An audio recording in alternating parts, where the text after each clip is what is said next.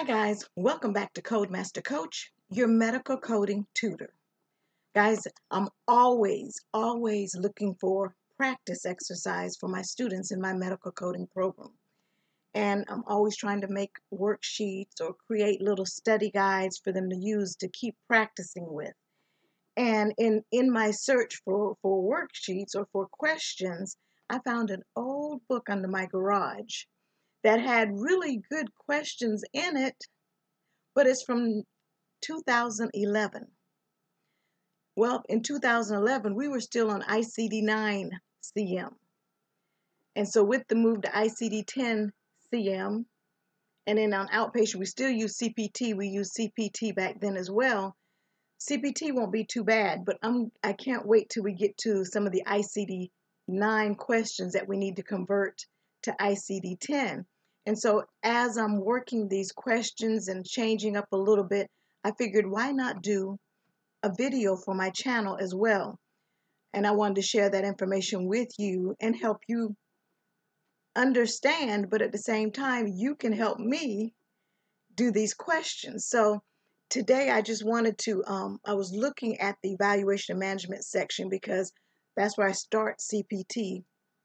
I spend like four weeks alone and just E and M. That that section is such a big question, a big section. I have lots of questions in that area, and what I'm seeing in the last month is from from my students, a lot of them have not been properly taught how to use the alphabetic index in the E and M section.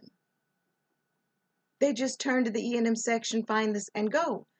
But as a new coder, when you're first starting out, that's not the best route.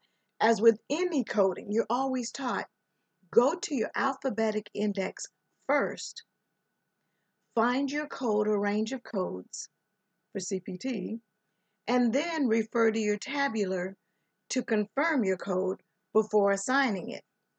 So, in this exercise of questions that I have for today, I want to show you step by step how to look up an evaluation and management code.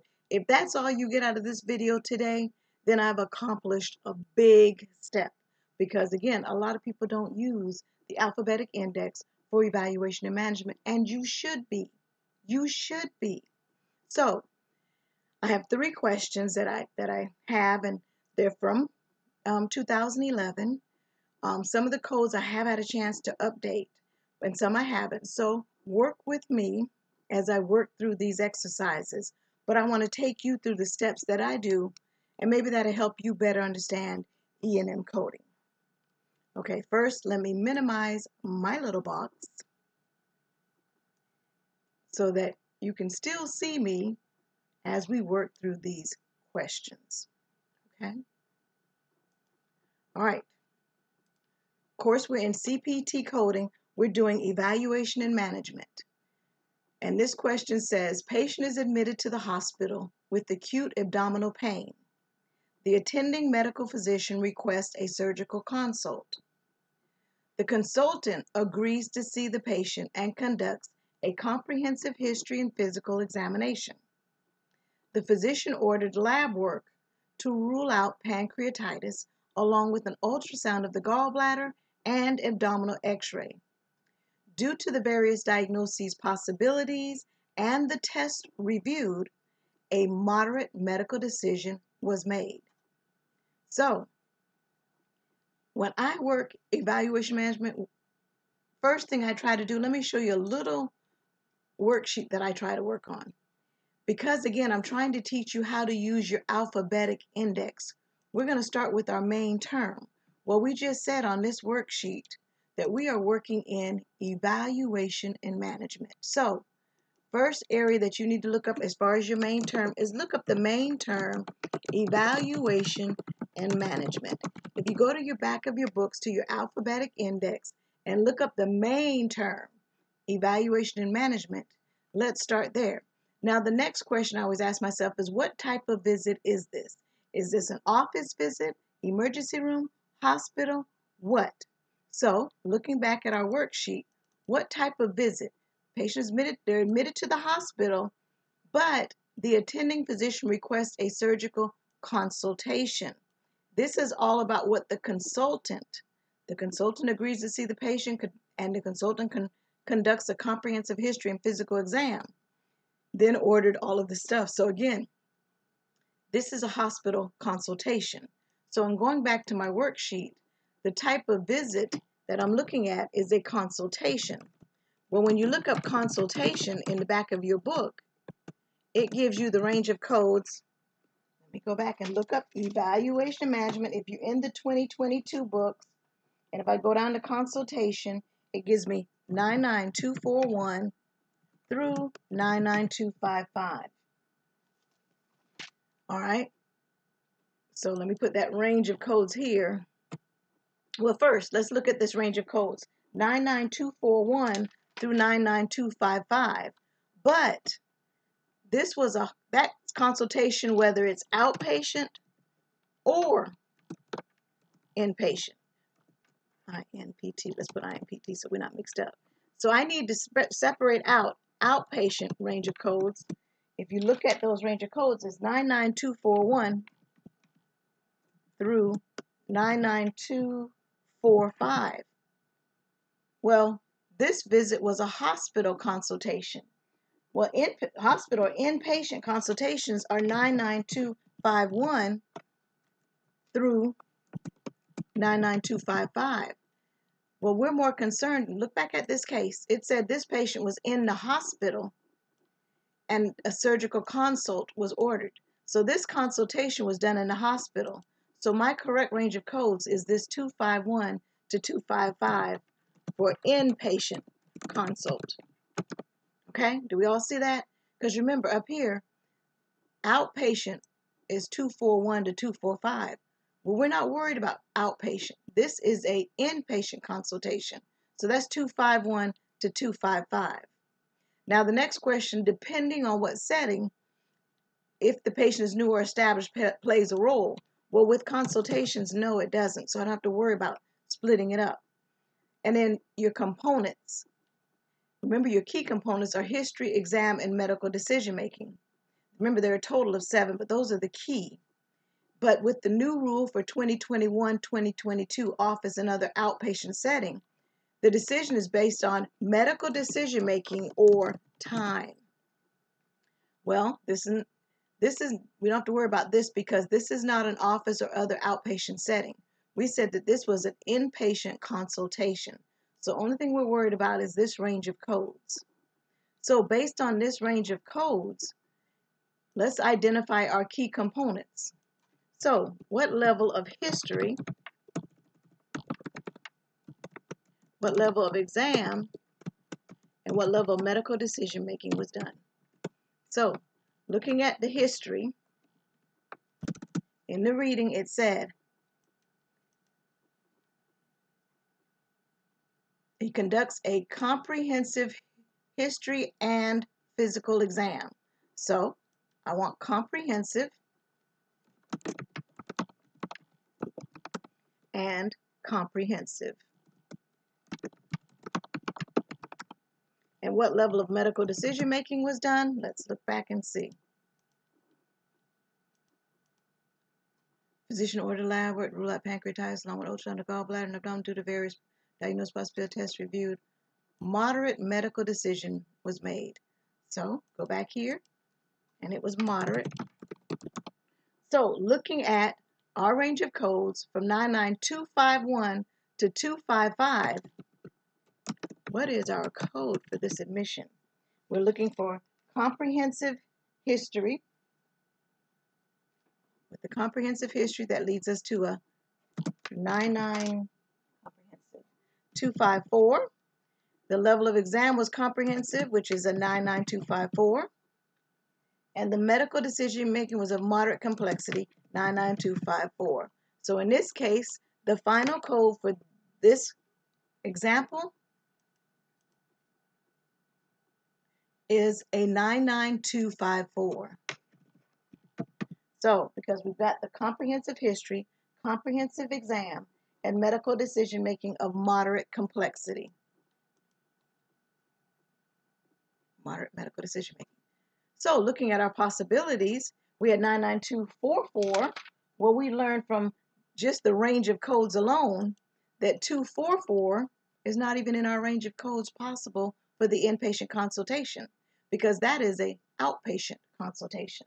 So that can't be a possibility. That is out. 222 again wasn't even in the range and 2 let's look at 222. 99222 is an initial hospital care.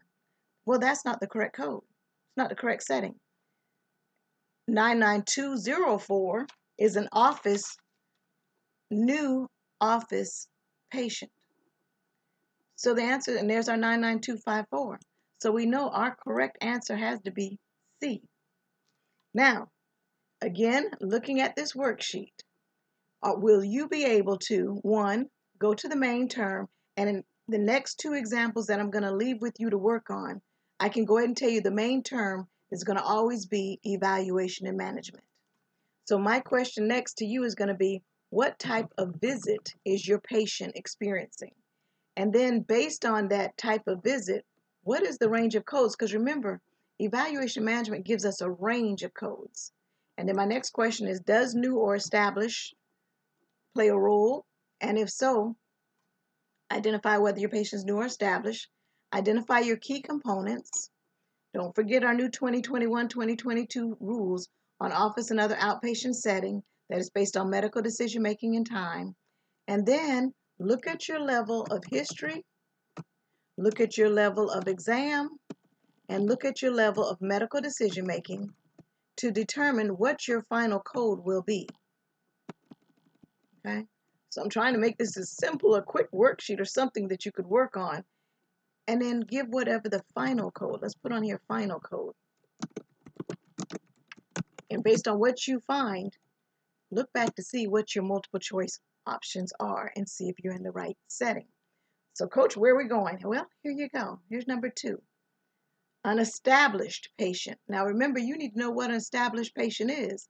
If you don't know the difference between a new and an established patient, go back to my CPT E&M visit uh, E&M visits or E&M videos on my YouTube channel, and I explain the difference between a new and established patient. Returns to the physician's office for follow-up of his hypertension and diabetes. The physician takes the blood pressure and references the patient's last three glucose tests. The patient is still running above normal glucose levels, so the physician decides to adjust the patient's insulin. An expanded history was taken and physical examination was performed. Here are your options. Is it a 99213? Remember, this is an established patient, so you'd be under fill in your sheet, E&M, type of visit, mm -hmm. range of codes. Is it new or established? I might need to move this up because in this case, new or established plays a key role. Hint, hint. So let's look back at it again. Established patient returns to the office. So we already know our range of codes for established patient. Office visit, range of codes, established, and bring in your key components. Identify your key components and identify your level or your final code for that. Okay, here are your possibilities. And as you're looking at these guys, if you have to pause this video so that you can go through the steps and go back and forth like I did, do that. And for number two, patient arrives in the emergency room via a medical helicopter. The patient has sustained multiple life-threatening injuries due to a multiple car accident. The patient goes into cardiac arrest 10 minutes after arrival. An hour and 30 minutes of critical care time is spent trying to stabilize the patient. And these are your code ranges for this one. My question, can you code these? Again, what setting is your patient in?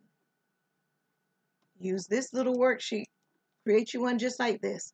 Look up your main term, evaluation management. Find the type of visit that this patient was in. Okay.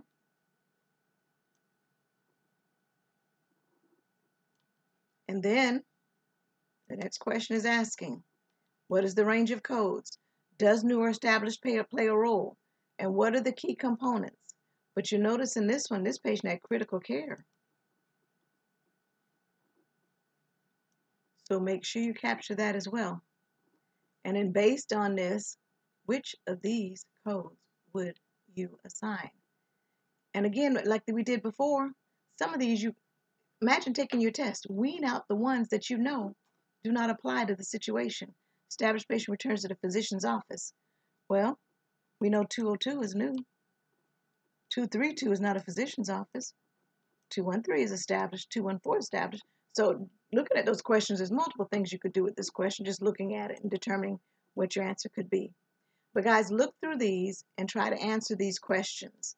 And use this little, I call it a little worksheet like my pacifier. Create you a little worksheet that asks the questions. What's the main term? What's the type of visit?